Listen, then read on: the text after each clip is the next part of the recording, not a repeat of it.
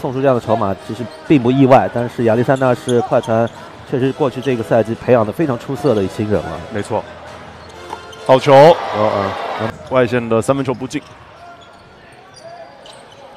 转换过来三分球，哦，可以。所以刚才比卢普斯看这个 T 恤口袋上的这个，对，另外一个就是今年 NBA 的这个海外战也比较的多，是对，因为快船三分还没投开，什么队伍？对，看什么队伍？整个快船队他们在上个赛季，不太好球，高位的侧影啊！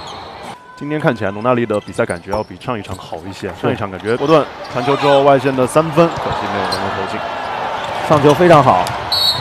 转换过来之后，造成了哈克里斯的犯规，为一个三年四千一百万的这个报价，来跟大家一起进行分享。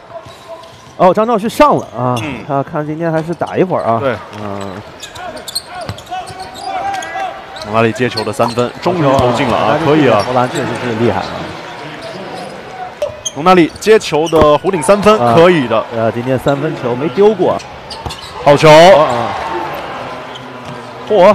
罗汉城直接前场抢了一个，跟进，好球，这是连续五分打进，好球，嗯，哎，嗯，现在两边的防守都是相对会稍微松一点啊。两名外援呢，蒙纳利三十五分钟，还有二十二分，一样的一种球队文化啊。然后在整个呃运营上呢，这个还是哦。又一个，对，今天是真开了，的话就是正式合同，然后之下会有双向合同，双向合同再往下，对，希望能够在呃最高的这个殿堂去打这个比赛。好球，抛一个，这个五十块钱压岁钱，哎，觉得这五十块钱怎么花呢？就特别的谨慎，可能就买点自己喜欢东西。嗯，然后第二年呢，突然手上拿到一千块钱压岁钱，不管打不打得进，快船队应该也不会再攻了啊。对，嚯，漂亮，小罗。可以的。